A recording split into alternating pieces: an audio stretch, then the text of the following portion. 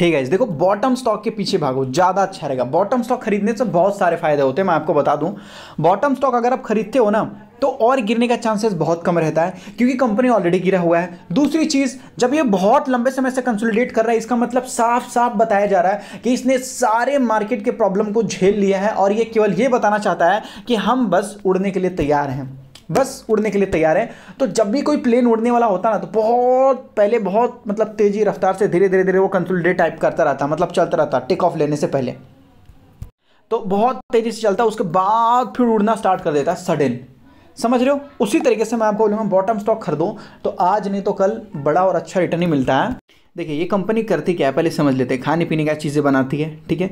लेकिन इसका थोड़ा सिस्टम अलग है। ये कंपनी बोलती है कि, देखो भाई, आप कहीं पे जाते हो ऑर्डर देते हो। ऑर्डर देने के बाद आप क्या करते हो? खाते हो। तो मान लेते हैं कि आपने इस रेस्टोरेंट से खाना मंगाया तो अच्छा लगा। अब इस रेस्टोरेंट पे आप जाते हो तो आपको अच्छा नहीं लगता। इस रेस्टोरेंट के पास जाते हो तो टेस्ट कुछ पता ही नहीं चलता आपको। ये एक कॉमन प्रॉब्लम है। तो ये लोग क्या बोलते हैं कि भाई देखो, हम हर जगह सेम टेस्ट प्रोवाइड करेंगे। हर जगह सेम टेस्ट प्रोवाइड करेंगे। कैसे? कैसे भाई? ये बोलते हैं कि हम रेडी टू ईट फ़ूड बनाएँगे। हम ऑलरेडी खाना को बना के रखेंगे आप लोगों के लिए सेम टेस्ट में। सेम टेस्ट में। अभी जैसे मान लेते हैं कि आ, कोई चिप्स का पैकेट खरीदते हैं सेम ब्रांड का। अगर इंडिया के कोने कोने में कहीं भी खरीदो सेम ब्रांड का आपको टेस्ट वैसा ही फील होता। है उसी तरीके से ये बोलते हैं कि भाई हम रेडी टू ईट फ़ूड बनाने वाले हैं। ठीक है? आपको केवल खरीदना है और ख़रीदने के बाद क्या बोलते हैं घर में केवल गर्म करना है सेम टेस्ट आपको देखने को मिलेगा। ठीक है? और ये सिस्टम बहुत तेज़ी से चलता आ रहा है बहुत तेज़ी से चलता आ रहा है। अगर आप डी घूमने जाओगे क्या बोलते हैं डी तो डी जब जाओगे घूमने के लिए तो डीमार्ट में अगर आप जाओगे ना तो वहाँ पर कम से कम आठ से दस फ्रिज अलग रखे हुए रहते हैं, अलग रखे हुए रहते हैं। क्यों अलग रखे हुए रहते हैं? वहाँ पर केवल रेडी टू ईट आइटम का फ़ूड होता। है अगर आप बोलो तो मैं आपको सामने से वीडियो बनाकर आप लोगों को दिखा दूँगा लाइव भी दिखा दूँगा। डी मार्ट इस सारी चीज़ों को खरीदता है और खरीदने के बाद अपने प्लेटफॉर्म पर बेचता है। तो ये कंपनी केवल रेडी टू ईट फ़ूड बनाती है। जैसे कि मान लेते हैं, बहुत सारे स्पाइसी फ़ूड बनाती है फ्रोज़न फ़ूड बनाती है क्या बोलते हैं? पिकल्स वगैरह बनाती है कंपनी और देखो, इस कंपनी की खास बात क्या है? एक्सपोर्ट करती है एक्सपोर्ट समझ रहे हो ना? एक्सपोर्ट हमारे भारत से ये एक्सपोर्ट कर रही है। और वो भी केवल एक फ़ूड कंपनी होकर, सोच लो।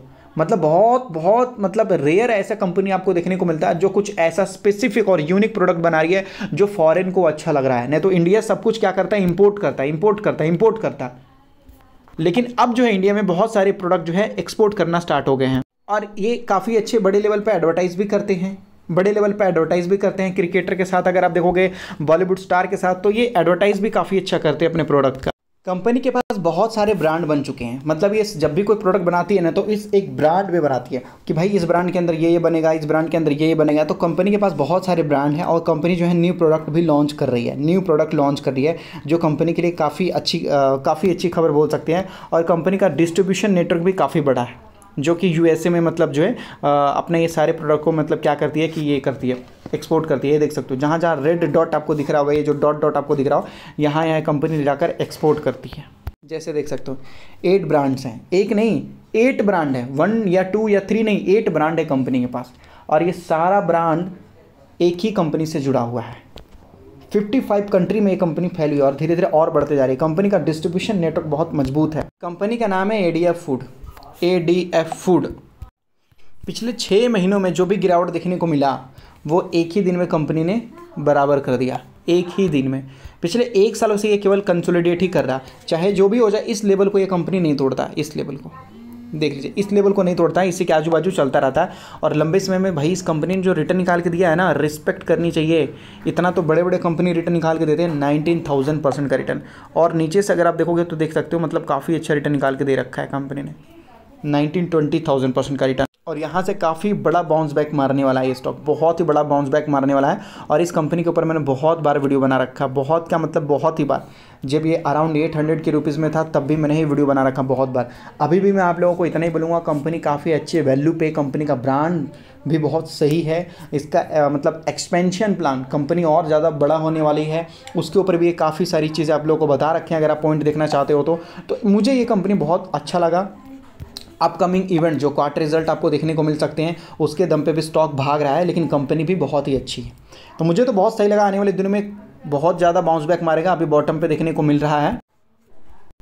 और यहाँ पर अगर हम देखते हैं कंपनी का क्वार्टर रिज़ल्ट तो कंपनी का क्वार्टर रिज़ल्ट आज बहुत ही अच्छा आया है।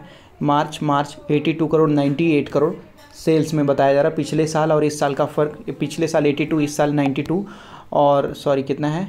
नाइन्टी एट है, ठीक है? नाइन्टी एट है। कभी कभी मिस्टेक हो जाता है सॉरी ऑपरेटिंग प्रॉफिट मार्जिन जो सेवनटीन परसेंट का था, अभी देखिए ट्वेंटी नाइन परसेंट है। इतना मार्जिन कौन इम्प्रूव करता है भाई? कौन करता है? बहुत कम। सौ रुपये का प्रोडक्ट बेचती है कंपनी तो तीस रुपये प्रॉफिट अपने पास रखती है परसेंटेज में, तीस रुपये और देखेंगे तो भाई, पिछले साल और इस साल में फ़र्क देख लीजिए, बारह करोड़ से बीस करोड़ का फ़र्क है। अगर दो करोड़ को निकाल देते हैं, दस करोड़ मान लेते हैं तो भाई डबल हो गया ना प्रॉफिट फिर तो।